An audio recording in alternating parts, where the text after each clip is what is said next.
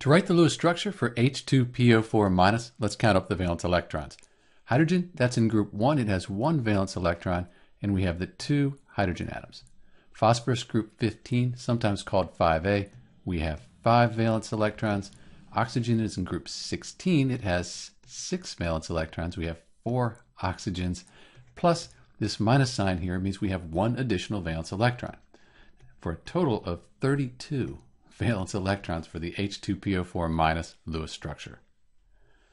So phosphorus, that's the least electronegative. Hydrogens always go on the outside. So we'll put our phosphorus in the middle of the Lewis structure, and then we'll put four oxygens around it.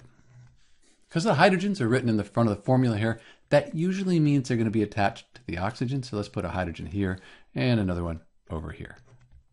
So we have the basic structure here for H2PO4 minus. Let's go ahead and put electrons between atoms to form chemical bonds. So now both of the hydrogens, they have two valence electrons, and that's all they need. Next, let's put valence electrons around the oxygens. So we've completed the octets on all of the oxygens and the central phosphorus, and we've used 32 valence electrons. So this looks like a really good Lewis structure. We should check the formal charges though, however, and make sure that this is the most likely or favorable Lewis structure for H2PO4 When we do that, we see the phosphorus in the center, that has a formal charge of plus 1.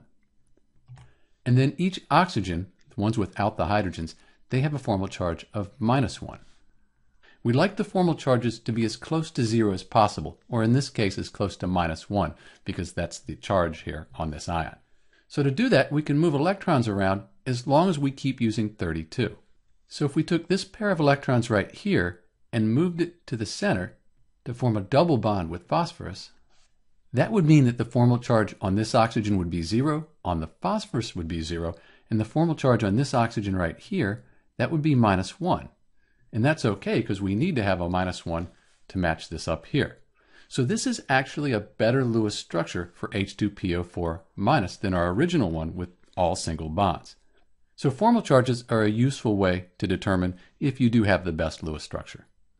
This is Dr. B with the Lewis structure for H2PO4 minus, and thanks for watching.